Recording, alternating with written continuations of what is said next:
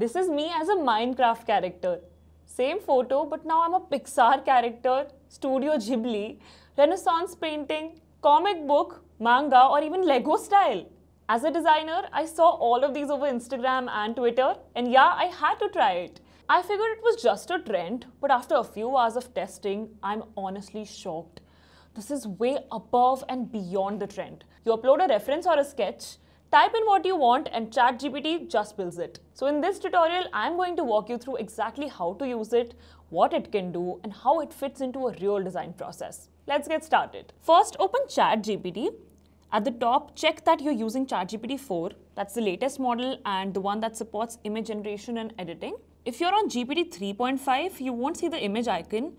Just switch to GPT 4 before moving forward. Now, a quick heads up GPT-4 is a major leap forward as older models like DALL-E struggled with structured visuals, Midjourney, and ideograms still glitch out with long words or layouts. This model fixes a lot of that, but because of how popular this feature became overnight, OpenAI had to start limiting access. The traffic surge was actually melting their GPUs, so if you're on the free plan, you might hit a cap fast. Even pro users get throttled during peak hours, just keep that in mind. Once you're on GPT-4, upload a photo. You can also drag and drop if that's easier.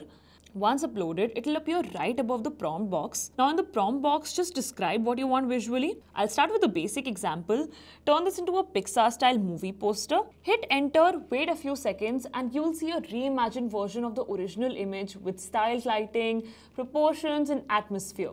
Still the same layout, same subject, but in a whole new aesthetic. Now let's switch it up and make the prompt a little more specific. Let's try this prompt. Make this look like a Studio Ghibli scene with a peaceful forest background. Again, it generated the image just as I told it to. This isn't just a filter, it captures the tone and cinematic vibe of that style. You could use this as a storyboard frame or concept reference. Try anything. Voxel art, Van Gogh, Comic book inking, cyberpunk neon, it nails almost all of them. But here's where it becomes more fun and actually useful for designers.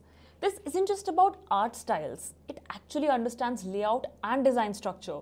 Let me show you a real use case. I'll type, make this into an Instagram ad with a bold headline at the top that says new drop and a button at the bottom that says shop now. It generates a clear ad layout with a clear structure and usable text the spellings are perfect.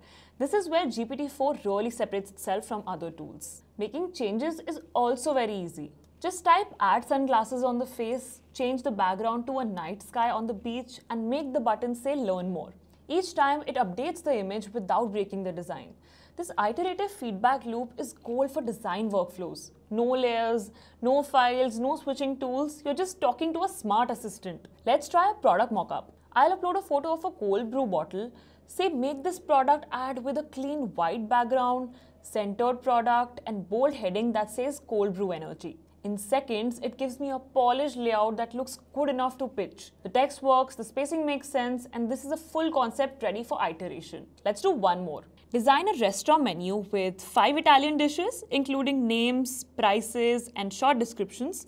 Make it modern and visually balanced. And here it is. The text is readable, the layout is solid, it's a usable menu draft that you can export, refine or recreate in Figma or Canva if you need to. You can keep experimenting, but this is only version 1 and it's already doing work that would have taken hours in other tools. There are limits if you ask for something ultra complex, like a periodic table or a data heavy infographic.